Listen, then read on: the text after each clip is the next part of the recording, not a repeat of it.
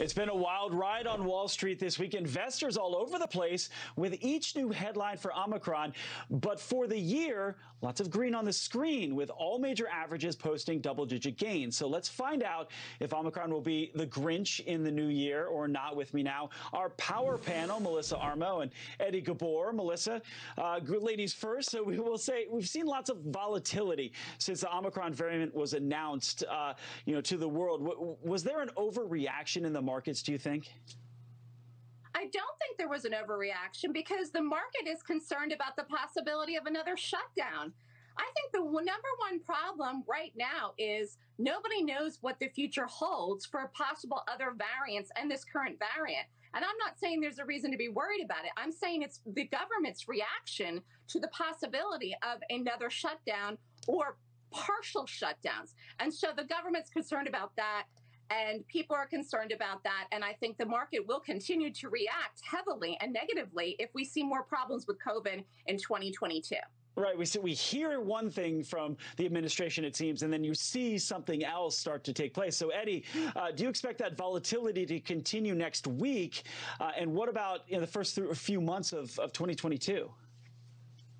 I think the first half of 2022 is going to be extremely turbulent.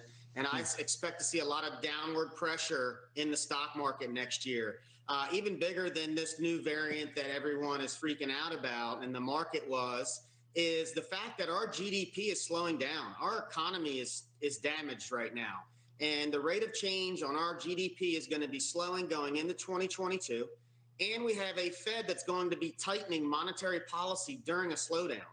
When you tighten monetary policy while the economy is slowing down because of the inflation that's going to crush the consumer next year, that's a worst case scenario for risk assets. Right. Look, my my uh, nickname and Twitter handle is Common Sense Bull. So I've been bullish a lot in my career, but I'm extremely bearish and cautious going in the next year. Investors need to be active, trade, right. and start playing defense for 2022. So got it, Grinch on this one. So, but Eddie, let, let, me ask you then, where, where, in basic terms, where should I have money? Where should I look for trades?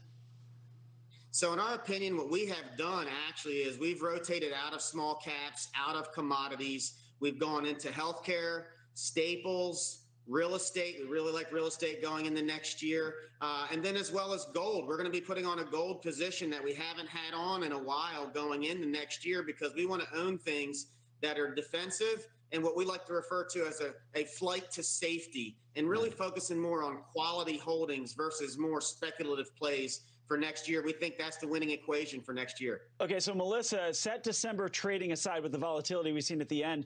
Uh, let's say, you know, I'm sitting at home right now, uh, Christmas Eve, getting ready for Christmas dinner. Um, I've just opened the pair of socks I got from my mom. She's going to kill me for saying that. But what, what steps should we take now to protect the money that I've made all this year in the stock market? Because it, it has been a big year.